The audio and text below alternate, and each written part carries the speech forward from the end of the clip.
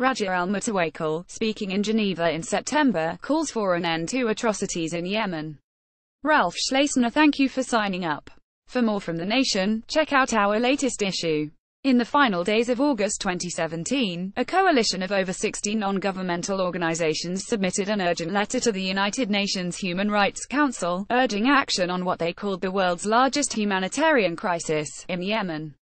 After more than two of civil war, at least 3 million Yemenis have been displaced, 7 million are on the brink of famine, and at least 20 million are in need of humanitarian aid.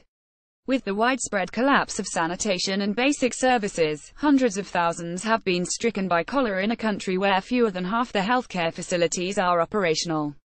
Ad policy The letter's main concern, however, was the thousands of civilians who have been killed and injured as a result of the violent turmoil, at least 5,110 dead and at least 8,719 injured since March 2015, according to the Office of the High Commissioner for Human Rights. Many of these deaths have been intentional, or the result of gross negligence by military actors. The letter spread blame widely, indicting the Saudi Arabia coalition, forces loyal to former President Ali Abdullah Saleh, and the Houthi armed group as perpetrators of serious violations of international law and human rights. The letter ended by repeating an appeal, first presented in 2015, for an independent international inquiry to investigate alleged violations and abuses of human rights in Yemen. The effort had been stonewalled by Saudi Arabia and its allies at the previous two Human Rights Council summits. At the forefront of the campaign for this independent inquiry was Raja al-Mutawakkil, a self-described human rights defender and the co-founder of Mwatana, a civilian-owned organization working to document human rights violations on the ground in Yemen. For years she and her partner husband, Abdul Rashid al-Faqih, have trained and dispatched dozens of Yemeni men and women to track abuses perpetrated by all parties in the conflict. In a deeply divided nation, the group's non-partisan work has garnered enemies on all sides, and over the years al-Mutawakkil has endured slander, detention, physical abuse, and rampant death threats. Her husband has faced similar treatment, while her father, a longtime political dissident, was assassinated in 2014. These experiences have not deterred her, nor her organization, which so far has documented hundreds of cases of violations of human rights and international law involving thousands of civilian victims. I spoke to al-Mutawakkil several times in October. We met in New York City, where SHE has been in functional exile since April. She arrived here in the spring for what was intended to be a 10-day visit, but her critics in Yemen, outraged to learn that she'd come to advocate in the United States, doubled down on their incendiary campaigns against her. Her colleagues in Sana'a, alarmed by the unprecedented vitriol, warned her not to return home. In the intervening months, SHES kept busy. SHE's been a practitioner in residence at Columbia Law School and has traveled repeatedly to Washington to lobby for de-escalation and human rights. In May, she became the first Yemeni civilian to address the UN Security Council. And in September, she celebrated alongside fellow signatories of the joint letter when, after a bruising three weeks of political jockeying, the Human Rights Council granted its request for an independent inquiry into the violations in Yemen. The decision appoints an international eminent group of experts, on a fact-finding mission, a softened version of the Commission of Inquiry, with greater prosecutorial powers, that was originally requested by rights groups. Yet the decision represents a real victory to al-Mutawakkil, what she calls a practical step toward peace in Yemen. She was further vindicated when, the following week, the UN added Saudi Arabia to its shame list for violations against children. The list already included several other Yemeni factions.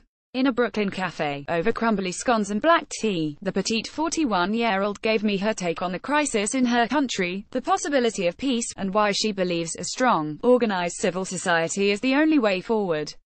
I started writing articles against the war.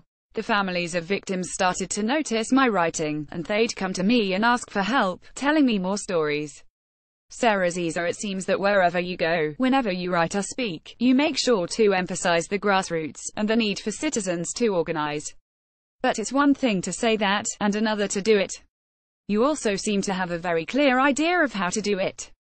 Could you tell me where you learned the practical steps to running an organization Radia Al-Mutawakkil It started with my father. He always taught us that everyone should be aware of the issues in their society and have a role in public life, so it was just a choice of what kind of path to take. But I found my path gradually. In 2004, after I graduated college, a war broke out in the north of Yemen, and I started writing articles against the war. The families of victims started to notice my writing, and they'd come to me and ask for help, telling me more stories.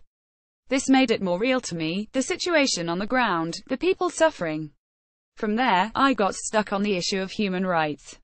And I thought about trying to address the issue through politics, or through writing, but pretty soon I realized, no, I just want to engage directly, on the ground. SA When did you formally launch your organization room? I was trying to do activism more independently, and then in 2006 I met Abdul Rashid, who was interested in the same things. We tried to start a human rights organization together, but the government refused us. At the Ministry of Social Affairs, they said there was a red line under both our names, because we'd both been speaking out about violations in public. They said, you'll never get a permit, not even if you wanted to form a dance group. Laughs It was hard to work without a permit, because we weren't recognized and couldn't get donations, but we kept going. Then things really started to change in 2008, when Human Rights Watch connected with us. They asked us to help their field researchers, and in exchange we got to learn from them. SA What did you learn room The biggest thing for me was learning to just focus only on human rights, nothing else. Most of the time in a conflict, people just want to know, who's the good side, who's the bad side, who's at fault, but the human rights approach says, who cares their issue is just documenting violations and protecting civilians. This was like magic to me. It simplifies so much. And for the next several years, we got to do lots of field work with Human Rights Watch and Amnesty.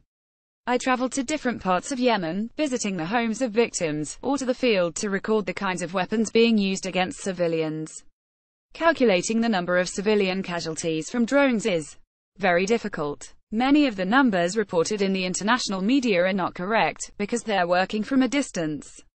We were on the ground, slowly collecting data. We also monitored the detention of journalists, government abuses of prisoners. Lots of things.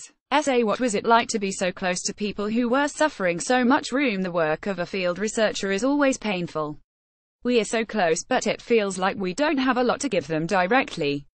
Human rights work is a very long process. It's not like humanitarian work, where you just give someone something, here you go, here's medicine, here's food. SA You've also been targeted by a lot of different groups inside Yemen who don't like your work. The Houthis will accuse me of being a Saudi spy, for example, but then the Saudis or the Hadi loyalists will say, I'm a disgrace to my family or a traitor to my country.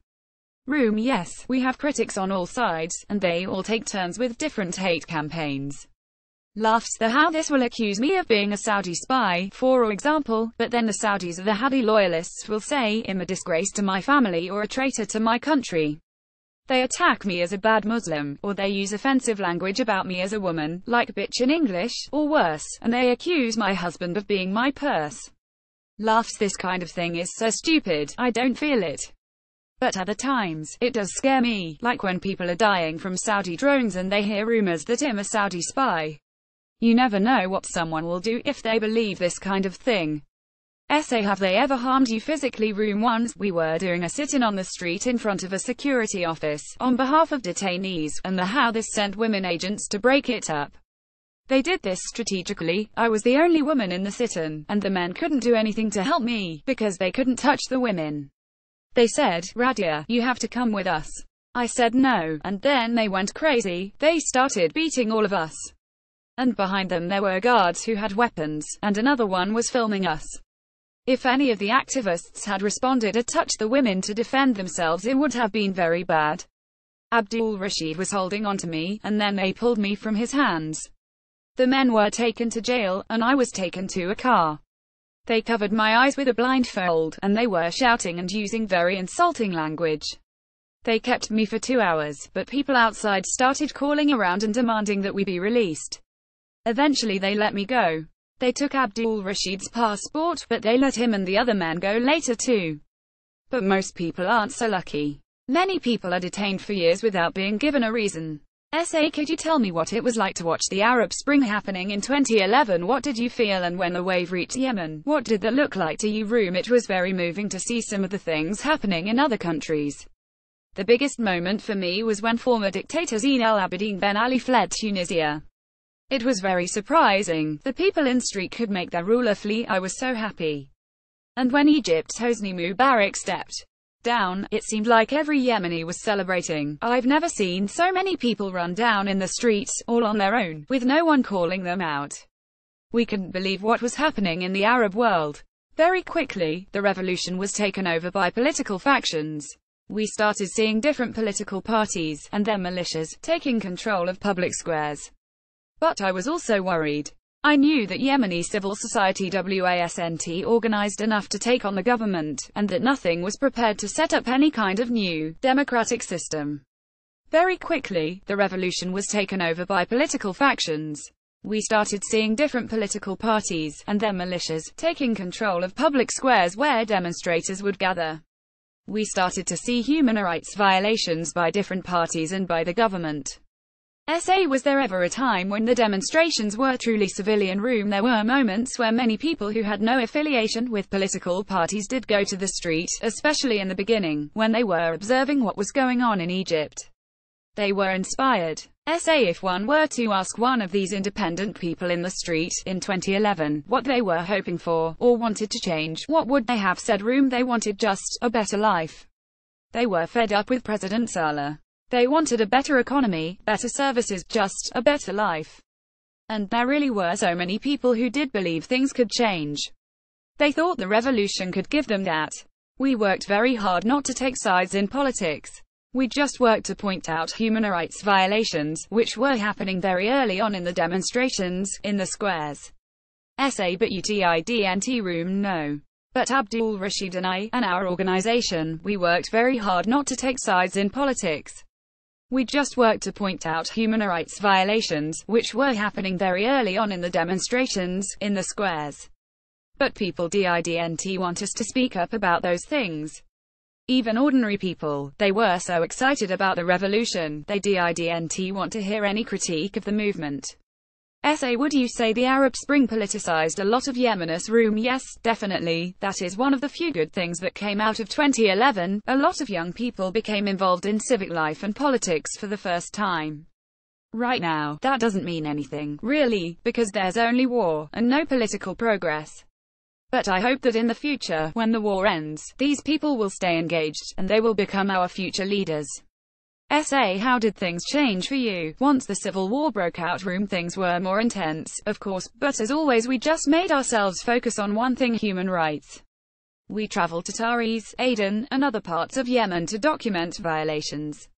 We were also working with Open Society Foundation on a report on civilian deaths caused by U.S. drones and we started getting more invitations to go abroad to do advocacy or speak at human rights events. But most of the time, we were unable to travel to attend these events. Say why couldn't you travel room there are no more embassies in Yemen, so to get a permit you have to go to a second country, like Jordan or Lebanon, and apply there. It can take two or three weeks. And then you can go to your final destination. Also, Abdul Rashid didn't have his passport. But eventually, when we decided to make an advocacy visit to the United States this year, we were able to get to him another passport. SA How did you manage that room? That's one good thing about having two governments the Houthis had his passport, so he went quietly to Aden and applied through the regime there, and that's how he got a new passport. The Houthis were very surprised to learn he was out of the country laughs SA but now HES back in Yemen room yes, we were in exile together from April until October, since our colleagues said things would be very dangerous for us to return to Yemen. But we saw that, with both of the leaders gone, the organization was weakening. Abdul Rashid told me he felt very strongly that he needed to go back to support the work. I was so scared, but he told me, if we give up on this work, what's the point of our existence? He told me to trust him, and that he'd be very careful. He traveled through Sudan and flew into a small airport in Yemen, Seiyun, very quietly. Now that helps so glad to be there, I feel a part of me is in Sana'a, it feels closer to me now. So now we feel, yes, this is right. He can do the work there, and I can do the work here. SA and how is the work going? What does it feel like to be here, advocating in the United States, when the United States plays such a big role in the conflict and violations in Yemen room it has been difficult.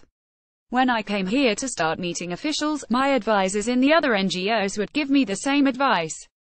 They said, firstly, US officials don't know much about Yemen, and secondly, they don't care about human rights violations. They told me to talk about security. They said this is the language the Americans respond to. So what do you do room I do both I can't ignore human rights, that's who I am, a human rights defender. But I have to start by educating people with the basics. Most American officials look at Yemen like a black hole. They don't understand it. They don't care, and they don't see a solution. But I tell them, they don't have to feel this way. The best way to understand it is as a balance of weaknesses. I always tell them, there are no heroes in Yemen. There are only criminals and victims. And these criminals are failures, they've failed. That's why peace is possible. Not like in Syria, where you have a strong regime like Assad's, and strong militias. Every faction in Yemen is weak. So do you feel like you've had some success with US officials room yes. When we first got to the United States, the rhetoric around Hodeidah port was very escalated. It sounded like the Saudi United Arab Emirates coalition were getting ready to launch a military strike any minute. We spoke to many people and gave them the civilian perspective. We tried to put a human face to the issue. We talked to them about the impact of military intervention on Yemenis. I think it was the first time they had ever even thought about this perspective. Gradually we saw the rhetoric cool down. We also got them to listen by talking about fanatical groups. This is something US officials seem very interested in. They are all scared of Islamist extremists. But some of their strategies are empowering the extremists because while the coalition is fighting the Houthis, and the Muslim Brotherhood is weakened, or the fanatics and Salafis are getting stronger, especially in the south. Is that what they want? I'm not saying these things to manipulate them, either. I'm saying it because Yemenis are scared, too, of extremists. I'm worried because that would be the worst possible future for Yemen.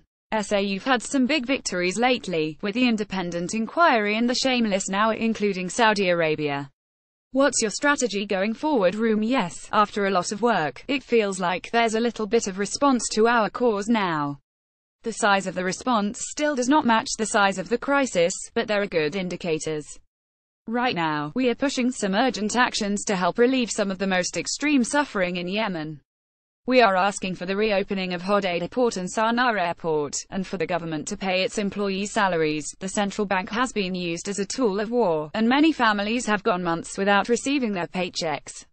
They were already poor, and now this so we are calling for a mechanism to push these basic actions, as well as working on a solution to the conflict in Yemen. SA you are clearly very determined, but you also seem optimistic. Do you feel hopeful room yes. I am hopeful. Because you must be hopeful. And thank you for asking about my story. Thank you for being interested in my country.